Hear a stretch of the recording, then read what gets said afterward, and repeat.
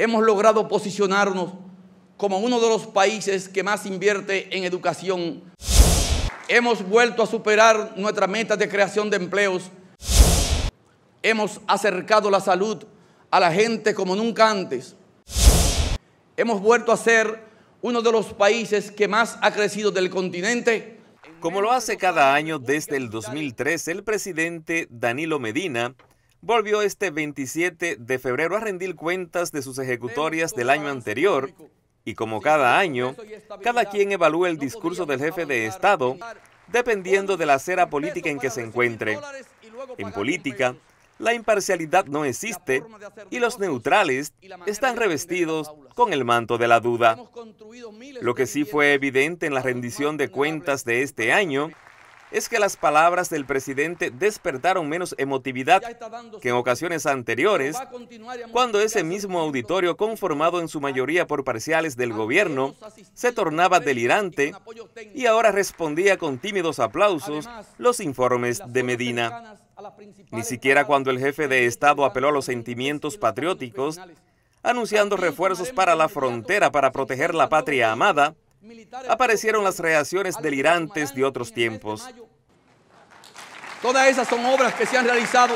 Aunque pretendió reducir el tiempo de su alocución enviando a los interesados a buscar en los periódicos el listado de las obras construidas en el 2017, el presidente Medina habló durante dos horas y diez minutos de seguridad ciudadana, economía, medio ambiente, educación, salud, violencia de género, dominicanos ausentes, visita sorpresa y otros tantos temas que después de seis años convierten su rendición de cuentas en un discurso rutinario.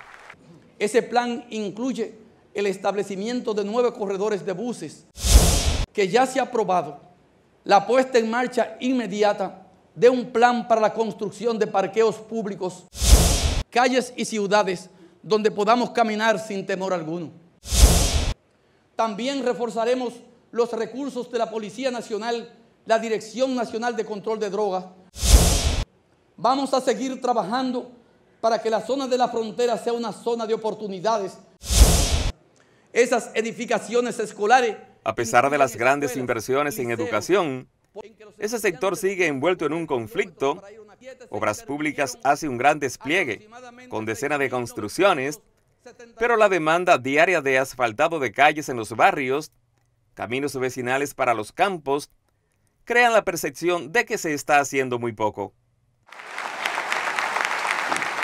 Sin embargo, las promesas de un discurso pronunciado en un escenario que no se construye para ofrecer cosas, sino para citar cosas que se hacen durante los 12 meses anteriores, generan expectativa entre quienes no pierden la esperanza. En San Juan siguen esperando la presa de Monte Grande. Muchos capitaleños agradecen las cajas voladoras del teleférico, pero son muchos más los que reclaman la terminación del metro. Son la misma gente que ven en Santo Domingo la solemnidad de la justicia denigrada en el centro de un furgón y los que transitan por la Duarte entre el Cibao y la capital, atravesando tramos de una autopista parecidos a un callejón. Para proceso, Francisco Javier.